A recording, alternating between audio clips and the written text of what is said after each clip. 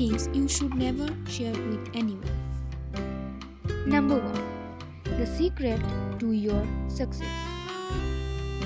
This doesn't mean that you cannot motivate and inspire people with your success, but going about sharing those secrets to your success with everyone is not advisable.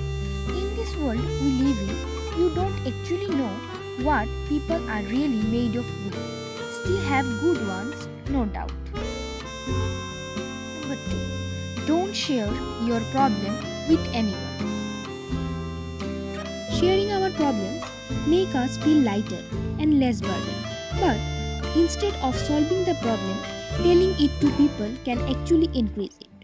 In fact, 70% of people are happy to hear about your problem and 10% really care. So, think twice before telling someone your problem.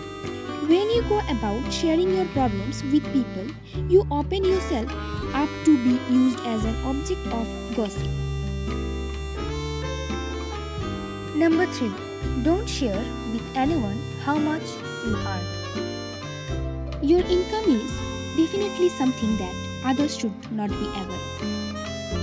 If you go about sharing everything about your income and personal finance with people, you will soon attract unnecessary hatred for yourself. Your income and personal finance should be between you and yourself.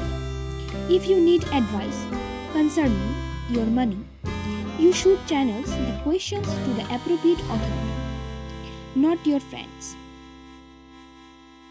Number 4. Don't share your family problem with anyone. There is no family that doing have a problem. Some have big problems while some have small ones. But sharing the problem with someone would never solve these problems. Sharing with others only aggravate the problem. It is called family problem and it should be remain within the family and its member. No third party should take part in it. Number 5. Don't share your dreams with anyone.